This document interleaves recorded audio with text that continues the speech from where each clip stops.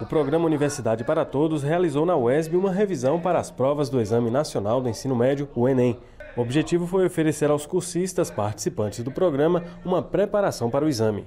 Então, este evento, na verdade, é um espaço que vai proporcionar é, um melhor preparo.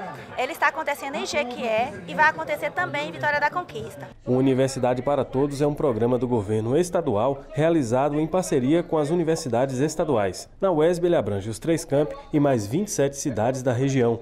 O programa vem mudando a realidade de alunos como Zenilson, que é de Cândido Sales e está há dois anos no projeto. Ele pretende passar no vestibular para o curso de Direito ou de História na UESB. O programa aí de revisão do Enem está sendo de extrema importância em várias áreas, né?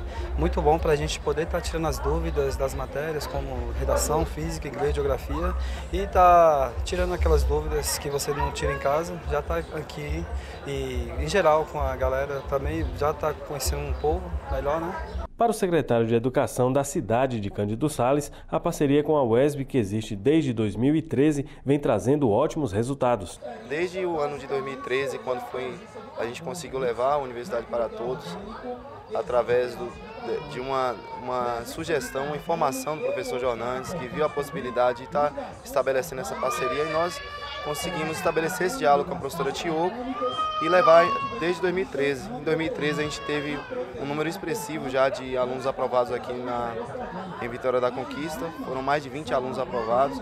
E agora a gente está no segundo ano com uma frequência muito boa, acredito que na região sudoeste seja já destaque, porque a gente mantém uma, uma, uma frequência muito boa lá dos nossos alunos que a gente faz o acompanhamento, a gente faz questão de estar aqui com a coordenadora, comigo, que estou representando o município como secretário de Educação, acompanhando os alunos. O Enem acontece nos dias 8 e 9 de novembro, mas para fazer uma boa prova e obter um resultado satisfatório, a preparação começa bem antes e vai além dos estudos somente. Prova do Enem é uma prova muito grande, muito extensa, muito cansativa.